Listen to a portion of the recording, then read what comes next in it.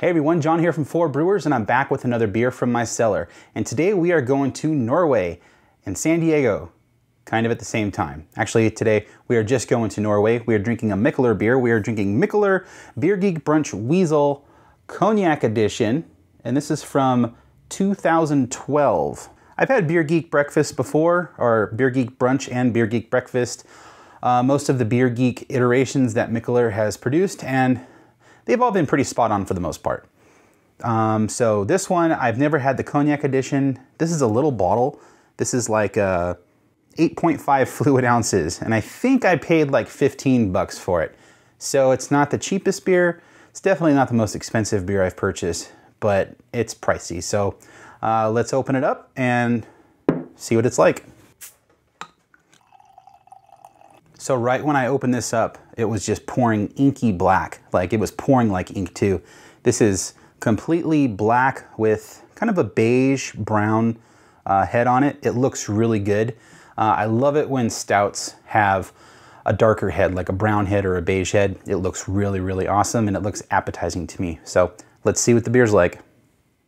So right off the bat, I get booze. Um, it's a big beer. I think it's 10, yeah, it's 10.9%.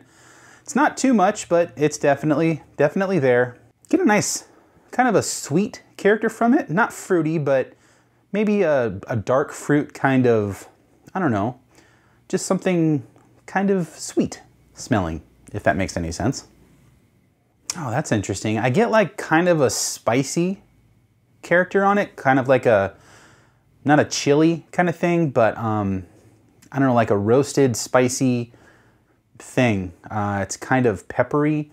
Um, that might be from the coffee. Um, this has uh, civet cat beans in it, um, or Kopi Luwak, I think they're also called. I don't know if that's a different species or a different kind from a different region. Um, I'm not sure, but it's got that in it, which that's why that's where they get the weasel from, the Beer Geek Brunch weasel. Um, but I'm definitely getting a little bit of that. That's interesting. A little bit of a soy sauce thing going on. It's not, it's not big, but it's kind of there. But yeah, the the spicy, peppery kind of thing, that's interesting. I didn't really expect that. So overall, smells really good. Um, don't get a whole lot of chocolate per se. I get some roastiness on it, that spicy thing, some booze. Um, yeah, and it's overall, it's not bad. So let's see how it tastes. That tastes good. It's nice and smooth. It's well carbonated is not infected, so that's a bonus.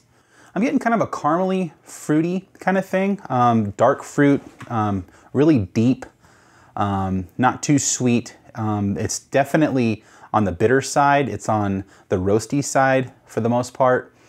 It's dry, uh, but it's not thin. It's got a nice mouth feel on it. Yeah, that spicy character that I was smelling on the aroma, it kind of carries through to the, uh, to the flavor. It's nothing big. It kind of mingles with the booziness of the beer in a good way and uh, makes it a little more interesting. It is a little boozy too, but it's not bad. Um, this would be a great cigar beer. That's the, the first thing I thought of when I tried this. Um, there is like zero oxidation on this, no infection. It's perfectly carbonated. I mean, everything about it is really, really good. It's tasty. Um, it's on the roasty bitter side, and if that's what you like in big stouts like this, then you're gonna love it. So yeah, overall, this is holding up really well. I'm really happy with it. I'm glad that Mikkeller is actually brewing beer in San Diego now at the old AleSmith spot because why not have fresh Mikkeller IPA whenever I can get it? That's awesome. Uh, and I get to have more beers like this. And I did join their Viking Club, which some people have called me out on as being a bad idea. Not gonna name names, but I thought it was a good idea. And I'm looking forward to the stuff that Mikkeller is gonna do in the future. So Cheers to Mikkeller, and that's one less beer in my cellar.